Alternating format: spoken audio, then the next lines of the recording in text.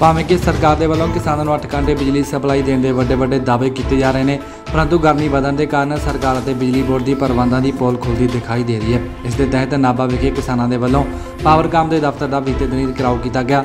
ਕਿਸਾਨਾਂ ਵੱਲੋਂ ਸਰਕਾਰ ਅਤੇ ਬਿਜਲੀ ਵਿਭਾਗ ਦੇ ਖਿਲਾਫ ਜ਼ੋਰਦਾਰ ਨਾਅਰੇਬਾਜ਼ੀ ਵੀ ਕੀਤੀ ਗਈ। ਕਿਸਾਨ ਆਗੂਆਂ ਨੇ ਕਿਹਾ ਕਿ ਸਰਕਾਰ ਦੇ ਵੱਲੋਂ 8 ਘੰਟੇ ਬਿਜਲੀ ਦੇਣ ਦਾ ਐਲਾਨ ਕੀਤਾ ਗਿਆ ਸੀ, ਪਰੰਤੂ ਜਿੱਥੇ ਖੇਤੀ ਸੈਕਟਰ ਨੂੰ 5 ਤੋਂ 6 ਘੰਟੇ ਬਿਜਲੀ ਆ ਰਹੀ ਹੈ ਉੱਥੇ ਹੀ ਘਰਾਂ ਨੂੰ ਆ ਰਹੀ ਸਪਲਾਈ ਦੇ ਵੀ ਵੱਡੇ ਵੱਡੇ ਕੱਟ ਲਗਾਏ ਜਾ ਰਹੇ ਨੇ। ਕਿਸਾਨ ਆਗੂਆਂ ਨੇ ਕਿਹਾ ਕਿ ਜੇਕਰ ਬਿਜਲੀ ਦੀ ਸਪਲਾਈ ਵਿੱਚ ਸੁਧਾਰ ਨਾ ਹੋਇਆ, ਤਾਂ ਉਹ ਵੱਡਾ ਸੰਘਰਸ਼ ਕਰਨ ਲਈ ਮਜਬੂਰ ਹੋਣਗੇ। ਕਿਸਾਨਾਂ ਨੇ ਇੱਥੋਂ ਤੱਕ ਕਿਹਾ ਕਿ ਕਿਸੇ ਵੀ ਰਾਜਨੀਤਿਕ ਆਗੂ ਨੂੰ ਪਿੰਡਾਂ ਵਿੱਚ ਵੜਨ ਨਹੀਂ ਦਿੱਤਾ ਜਾਵੇਗਾ, ਕਿਉਂਕਿ ਸਾਰੇ ਸਿਆਸੀ ਪਾਰਟੀਆਂ ਦੇ ਵੱਲੋਂ ਪਹਿਲਾਂ ਵੱਡੇ ਵੱਡੇ ਦਾਅਵੇ ਕੀਤੇ ਜਾਂਦੇ ਨੇ, ਪਰੰਤੂ ਬਾਅਦ ਵਿੱਚ ਵਾਅਦੇ ਪੂਰੇ ਨਹੀਂ ਕੀਤੇ ਜਾਂਦੇ। ਜਿਹੜਾ ਬਿਜਲੀ ਬੋਰਡ ਵੱਲੋਂ ਕੈਪਟਨ ਸਰਕਾਰ ਅੱਜ ਟਿਲ ਡੇਟ ਤੱਕ ਇਹ ਕਹਿ ਰਹੀ ਹੈ ਕਿ ਅਸੀਂ ਕਿਸਾਨਾਂ ਨੂੰ 8 ਘੰਟੇ ਨਿਰਵਿਘਨ ਜਿਹੜੀ ਸਪਲਾਈ ਆ ਉਹ ਦੇ ਰਹੇ ਹਾਂ। ਦੂਜਾ ਪਾਵਰਕਾਮ ਪਾਵਰਕਾਮ ਜੋ ਵੀ ਰਿਟਰਨ ਮੈਸੇਜ ਕਰਦੀ ਹੈ, ਉਹ ਇਹ ਕਰਦੀ ਹੈ ਕਿ ਜਿ- ਬਿਜਲੀ ਸਪਲਾਈ ਹੈ ਜਿਹੜੀ 8 ਘੰਟੇ ਕਿਸਾਨਾਂ ਨੂੰ ਦਿਨ ਨਿਰਵਿਘਨ ਦਿੱਤੀ ਜਾ ਰਹੀ ਹੈ।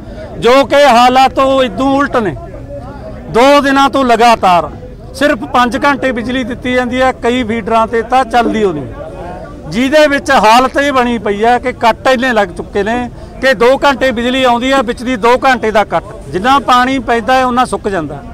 ਗਰਮੀ ਇੰਨੀ ਪੈ ਰਹੀ ਹੈ ਪਾਣੀ ਦਾ ਬੁਰਾ ਹਾਲ ਹੈ ਕਿਉਂਕਿ ਜੀਰੀ ਦਾ ਪਾਣੀ ਤੋਂ ਬਿਨਾਂ ਸਰ ਨਹੀਂ ਸਕਦਾ।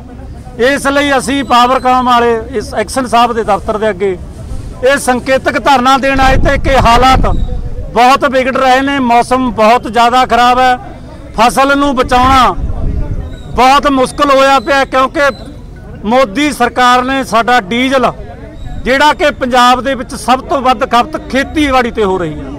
100 ਰੁਪਏ ਦੇ ਕਰੀਬ ਪਹੁੰਚਣ ਵਾਲਾ ਕਿਸਾਨ 100 ਰੁਪਏ ਲੀਟਰ ਡੀਜ਼ਲ ਖਰੀਦ ਕੇ ਪਾਣੀ ਜੀਰੀ ਨੂੰ ਲਾ ਦੇ, ਇਹ ਸੰਭਵ ਨਹੀਂ ਕਿਉਂਕਿ ਉਹ ਵਿਕੂ ਇਹ ਵਿਕੂ।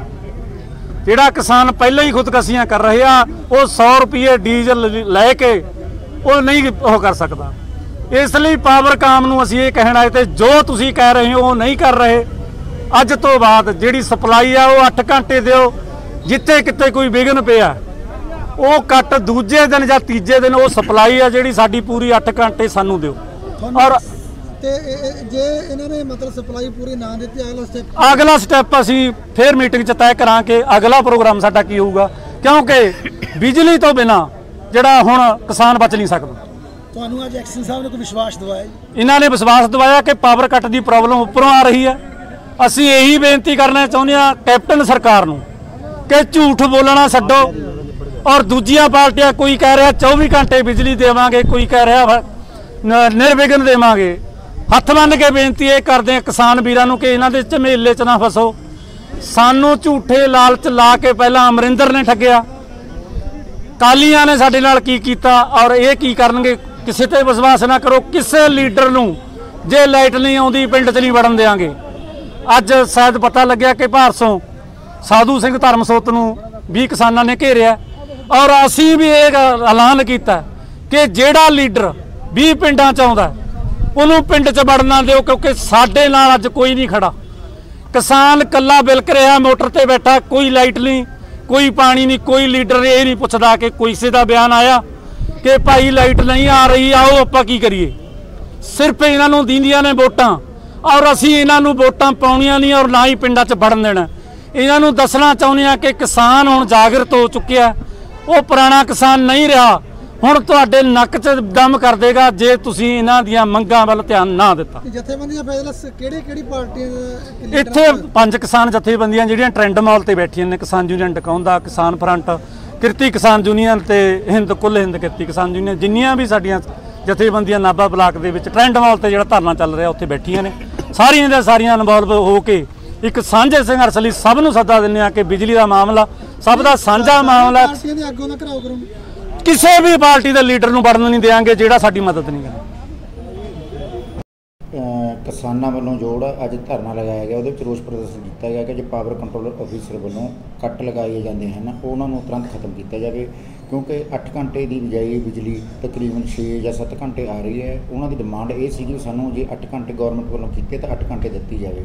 ਉਹਨਾਂ ਦੀ ਇਹ ਡਿਮਾਂਡ ਸਾਰੀ ਅਸੀਂ ਆਪਣੇ ਟਾਪ ਮੈਨੇਜਮੈਂਟ ਨੂੰ ਭੇਜ ਦਿੱਤੀ ਹੈ। ਲਿਖਤੀ ਰੂਪ ਵਿੱਚ ਭੇਜ ਦਿੱਤੀ ਹੈ ਤੇ ਮੋਬਾਈਲ ਤੇ ਵੀ ਬੇਨਤੀ ਕੀਤੀ ਗਈ ਹੈ। ਉਹਨਾਂ ਵੱਲੋਂ ਵਿਸ਼ਵਾਸ ਦਿਵਾਇਆ ਗਿਆ ਵੀ ਇਹ ਜਿਹੜਾ ਪਾਵਰ ਕੱਟ ਦਾ ਮਸਲਾ ਅਸੀਂ ਉੱਤੇ ਟਾਪ ਮੈਨੇਜਮੈਂਟ ਨਾਲ ਕਰਕੇ ਦਿਨਾਂ ਵਿੱਚ ਹੱਲ ਕਰ ਦੇਵਾਂਗੇ। ਪਾਵਰ ਕੱਟ ਲੱਗ ਰਿਹਾ ਦਾ ਕਾਰਨ ਕੀ ਹੈ ਸਰ ਮੇਨ ਪਾਵਰ ਕੱਟ ਦਾ ਮੇਨ ਕਾਰਨ ਇਹ ਵੀ ਜਿੰਨੀ ਬਿਜਲੀ ਦੀ ਆਪਾਂ ਨੂੰ ਲੋੜ ਉਹਨੀ ਬਿਜਲੀ ਆਪਾਂ ਨੂੰ ਮਿਲ ਨਹੀਂ। ਰਹੀ ਇਹਦਾ ਇਹ ਕਾਰਨ ਹੈ।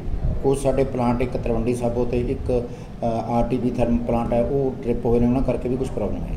ਸਰ ਇਸ ਦੀ ਧਰਨੀ ਜਾਣਕਾਰੀ ਤੁਹਾਨੂੰ ਆਪਾਂ ਤੁਹਾਡੇ ਵੱਲੋਂ ਉੱਚ ਅਧਿਕਾਰੀ ਨੂੰ ਦੇ ਦਿੱਤੀ ਗਈ ਲਿਖਤੀ ਰੂਪ ਵਿੱਚ ਵੀ ਦੇ ਦਿੱਤੀ ਹੈ WhatsApp ਤੇ ਵੀ ਉੱਚ ਅਧਿਕਾਰੀਆਂ ਨੂੰ ਭੇਜ ਦਿੱਤੀ ਗਈ ਤੇ ਹੁਣ ਤੁਹਾਡੇ ਮਤਲਬ ਇੱਥੇ ਸੈਟੀਸਫਾਈ ਨੇ ਜੀ? ਹਾਂ ਹੁਣ ਕਿਸਾਨ ਸੈਟੀਸਫਾਈ ਹੋ ਕੇ ਗਏ ਨੇ ਉਹਨਾਂ ਨੂੰ ਉਹਨਾਂ ਨੇ ਵੀ ਸਾਨੂੰ ਇਹੀ ਬੇਨਤੀ ਕੀਤੀ ਹੈ ਵੀ ਅਸੀਂ ਤੁਹਾਨੂੰ ਲਿਖਤੀ ਰੂਪ ਵਿੱਚ ਦੇਣੇ ਵੀ ਸਾਨੂੰ ਜਿਹੜੀ ਬਿਜਲੀ 8 ਘੰਟੇ ਹਰ ਰੋਜ਼ ਲਗਾਤਾਰ ਮਿਲੇ ਬਿਨਾਂ ਕੱਟ ਤੋਂ ਮਿਲੇ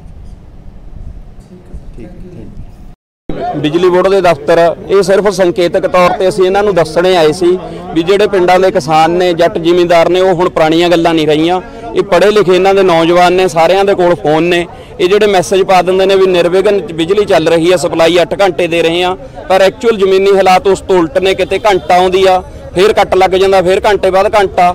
ਉਹ ਇਹਨਾਂ ਨੂੰ ਸਿਰਫ ਅਸੀਂ ਸੰਕੇਤਕ ਤੌਰ ਤੇ ਇੱਕ ਸ਼- ਦੱਸਣ ਆਏ ਸੀ ਵੀ ਇਸ ਤਰ੍ਹਾਂ ਨਹੀਂ ਚੱਲਣਾ, ਜੋ- ਜੋ ਸਾਨੂੰ ਮੂਰਖ ਬਣਾਇਆ ਜਾ ਰਿਹਾ, ਵੀ ਅੱਗੇ ਤੋਂ ਸਾਡਾ ਜੇ ਇਹ ਨਹੀਂ ਸੁਧਾਰ ਕਰਨਗੇ, ਤਾਂ ਸਖਤ ਐਕਸ਼ਨ ਹੋਊਗਾ। ਇਸ ਤਰੀਕੇ ਇਹਨਾਂ ਨੂੰ ਅਸੀਂ ਚੇਤਾਵਨੀ ਦੇਣਾ ਆਏ ਸੀ ਅੱਜ। ਇਹ ਆਵਾਜ਼ਗਮ ਟੀਵੀ ਲਈ ਨਾਭਾ ਤੋਂ ਪੱਤਰਕਾਰ ਤਰੁਣ ਮਹਿਤਾ ਦੀ ਰਿਪੋਰਟ।